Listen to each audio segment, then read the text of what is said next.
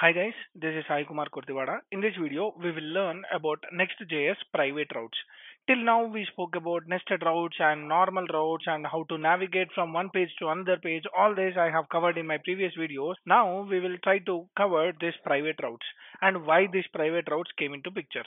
So now, the thing is, for example, you have a folder and each and every folder is accessible as a route. But in our case, let me consider I want to create a separate folder and I don't want to use it as a route. So in that case, how we can do that? That can be achieved by using our private routes. For example, let me go here.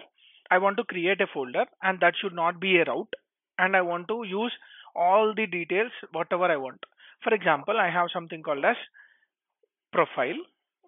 Just it's a sample example. So I have a profile and inside this profile, I have a file called as page.js and now I will be creating a function which is with a I want to create a function which will be export as a default. So export default and I am exporting the function and the function name is something like profile. And let me use a return statement which will return a JSX h1 and I want to return something called as profile comp. And save this. Now it has been compiled successfully. What I want to do is I want to go inside this profile. So in general, we can use something like profile directly and hit enter. It went to profile component. That is absolutely fine.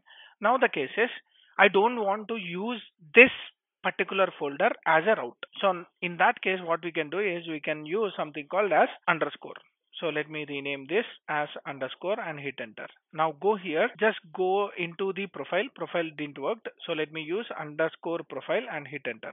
Now you can see it is throwing a page not found. That means my folder is having an underscore and whenever you use an underscore that becomes a private route. Whatever the folder which is created with underscore that will not be public accessible that means that route will not be accessible anymore. So this is an example of private route. And you may be getting a question if I really want to use underscore in my URL in that case how I can handle you can handle that by using a rename of percentile 5f so if you use 5f then you can access the profile component. You can see here underscore profile and hit enter it is visible. That means whenever you want to have a private folder then you can use underscore. And whenever you want to have underscore in your URL and your folder name should be starting with an underscore then you have to use percentile 5f then only you can use that. So in this case whenever we want to make our folder not accessible to the public and that should not be acted like like a route then we can use underscore before the folder name so that is about your private route let's talk more deeper into other set of routes in the upcoming videos so let me tell you one more problem. The problem is, for example, I have a folder and I want to create some set of other folders inside that, but I don't want to use that. So that's about your, that's it for this video. Hope you like my explanation. If you like my video, like, share, subscribe to my channel for more updates. Sharing off. Thank you. That's about your private routes.